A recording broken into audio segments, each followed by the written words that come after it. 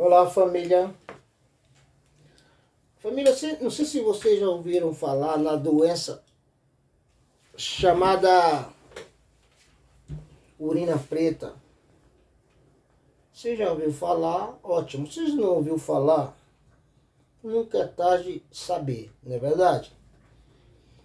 Pois bem, nós estamos tá tendo um surto, pessoal, dessa doença urina preta, popularmente conhecida como urina preta o nome científico dessa doença é a doença de Raff, porque é o nome do pesquisador que a descobriu. Essa doença urina preta, ela, ela apareceu, o primeiro surto dela foi em 1922, na União Soviética e na Polônia. E hoje, tantos anos depois, ela voltou a aparecer, e dessa vez no nosso país, na região norte do Brasil. Hoje nós estamos já com 44 pessoas contaminadas com essa, com essa doença. E segundo alguns pesquisadores, dizem que ela vem de peixes e crustáceos. Então é super importante, na minha opinião, esse vídeo de hoje, para que você, meu amigo ou minha amiga que vai comprar um peixe ou algum crustáceo, Observe bem a aparência, se ele é fresco, porque os especialistas indicam que quando está com aparência de muito tempo que já está morto, não é aconselhável ingerir esses produtos. Como eu falei para vocês, surgiu essa doença a primeira vez em 1922. E hoje ela, ela apareceu, a primeira, a primeira vez que apareceu ela foi na segunda quinzena de agosto passado agora de 2021. Já temos, já estamos com 44 pessoas contaminadas com, com essa doença. Eu tenho aqui, algumas notificações aqui que eu fiz para fazer esse vídeo para vocês. O sintoma dessa doença, de, dessa toxina que vem nesse, nos peixes, nos crustáceos, é dores musculares, é dor no peito, é falta de ar, é náusea, é tortura, é fraqueza e outros sintomas característicos. E, lógico, e a urina preta. Por que a urina preta? Porque a urina da pessoa que está contaminada, ela fica praticamente igual ao café. Por isso vem esse nome de urina preta. A média de internação para as pessoas que estão contaminadas é de 10 a 20 dias de internação. Se a pessoa não se cuidar, se tem os sintomas, os médicos também pedem, pessoal, que é muito importante eu frisar isso para vocês, que a pessoa que tem um desses sintomas e tem consciência que até 24 horas atrás consumiu peixe ou crustáceo, não faça automedicação. Procure um posto de saúde imediatamente. Porque essa doença, ela come toda a fibra do corpo e toda a cartilagem. A pessoa fica com dores insuportáveis em todas juntas, inclusive no pescoço. Imagina, é como se a pessoa tivesse toda engessada, do pescoço aos pés. É a sensação que dá essa doença. E ela come primeiro as fibras do nosso corpo e depois vai para as cartilagens das juntas. Tá? Então eu acho bastante importante eu vir aqui divulgar, ajudar a divulgar esse surto que está acontecendo no nosso país e lamentar por, por pela imprensa a grande mídia não divulga mais esse surto que estamos passando lá na, no, no norte do nosso país. E é muito importante. Automedicação não é aconselhável se você tem um desses sintomas. Eu vou até repetir para você porque isso é caso sério. Nós lembramos que há pouco tempo atrás, quando surgiu o vírus do Covid, Muitas pessoas aqui da nossa sociedade, muitos brasileiros, não levaram a sério esse vírus.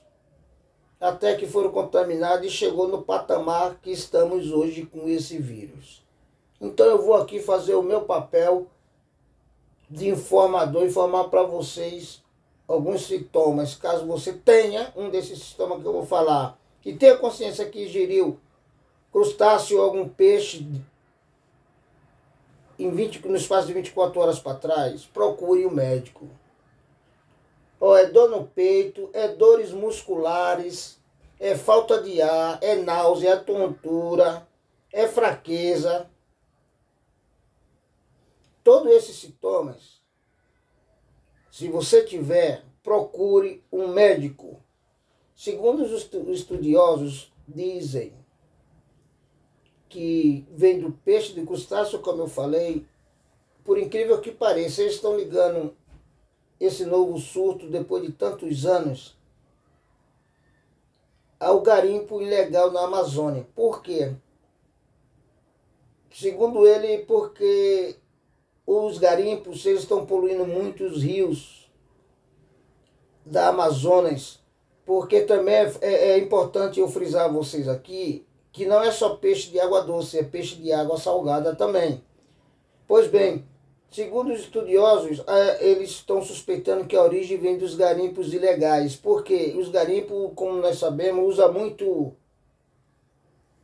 é, cobre, alumínio e outros produtos que é para separar o ouro da água. Então estão contaminando os rios e os riachos do norte do nosso país. Então os estudiosos acham que isso tem tudo a ver, que está ligado esse novo surto dessa doença que apareceu lá na, na União Soviética, como eu falei.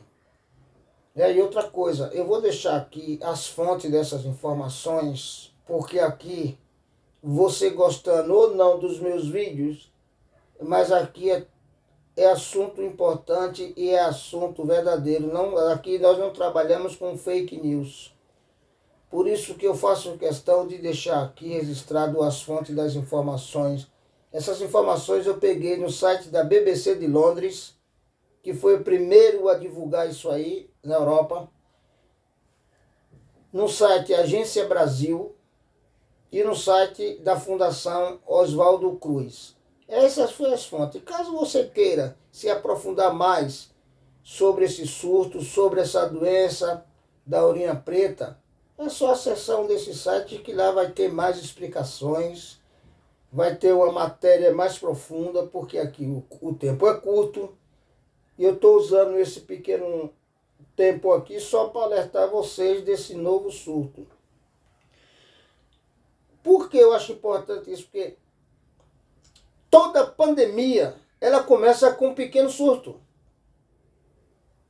Em local reservado, local, local restrito. Quando a saúde pública não intervém, ela começa a evoluir e chega no patamar que chegou essa Covid-19, a uma pandemia. Então, por isso que é sempre importante a informação, pessoal. Eu, é super importante para que nós possamos saber o que está acontecendo no nosso país e no mundo. Eu gostaria muito que você pesquisasse aí na sua internet aí, essa urina sobre essa urina preta.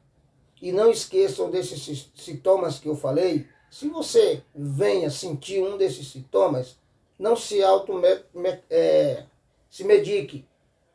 Porque os médicos, os estudiosos do assunto, eles estão pedindo para que ninguém se automedique. Se tiver um desses sintomas que, sintomas que vá diretamente a um posto de saúde. Porque o tempo de internação, caso você venha a ser contaminado, é entre 10 e 20 dias de internação. Não chega, não tem registro de morte por essa doença. Mas é muito incômodo você ficar todo duro como se estivesse engessado do pescoço ao pé. E é muita dores que você sente. Tem relatos de índios que pedem para morrer porque não aguenta mais as dores que está sentindo nas articulações. Porque essa doença ela come a fibra depois as cartilagens. Então imagina, é muito incômodo, é muita dor. O ser humano não aguenta viver com tanta dor assim sem poder se mexer. E vou até mais longe. É como se você tivesse enterrado só com a cabeça fora da areia. Assim mesmo essa, essa, o sintoma é, é o resultado dessa doença. Então vocês, por favor, se cuidem. Procure mais informações sobre essa doença da urina preta. Não vacile. Não vamos errar dessa vez como erramos em relação à Covid-19. Não vamos subestimar doença nenhuma. Toda doença tem que ser tratada na fonte da doença, do problema, não é com medicação, automedicação que nós vamos resolver o problema de saúde do, do, do nosso povo, não. Então era basicamente esse o vídeo. Tá bom, pessoal? Para mim é uma honra estar aqui. Sempre no horário de expediente, arrumando 20 minutinhos para bater esse papo legal com vocês aqui. E, e esse foi o papo de hoje. E lembre-se que se você agir com dignidade, haverá um canalha menos. Antes de iniciar esse vídeo, eu vou deixar registrado aqui para você que amanhã eu vou provar para vocês com vídeos, porque contra a imagem não há argumentos. É o que falamos.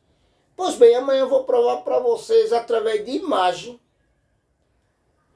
que o Brasil é o país onde se concentra o maior número de imbecis por metro quadrado.